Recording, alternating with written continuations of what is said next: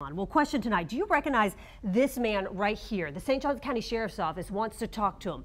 They think that he could be connected to a Monday shooting into a home that just barely missed a nine year old boy. Thankfully, no one was injured during all of this. Nick Rowe is on your side tonight. He's in West Augustine tonight with the latest for us. Nick. Well, Anthony Heather, good evening. Yes, now that surveillance video and photos that you're seeing from Woodlawn Terrace apartment complex, not far from here, about a mile and a half, a five minute drive from where we're at right now from the scene of the shooting, and police are still asking for your help this evening. Look at the shoes, look at the clothes that he's wearing, and, uh, and then look at the face and tell us if all of that matches up. Police want to know who this man is walking outside Woodlawn Terrace Apartments in dark shorts with a 9mm in hand.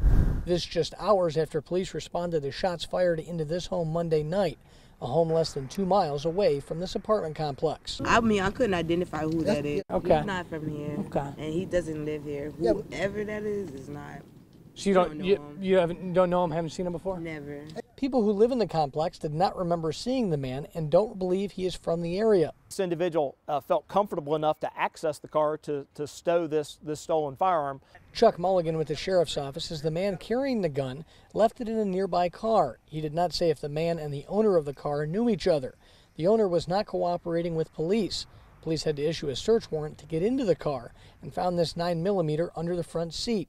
The sheriff's office did not say if the bullets matched the ones in the home.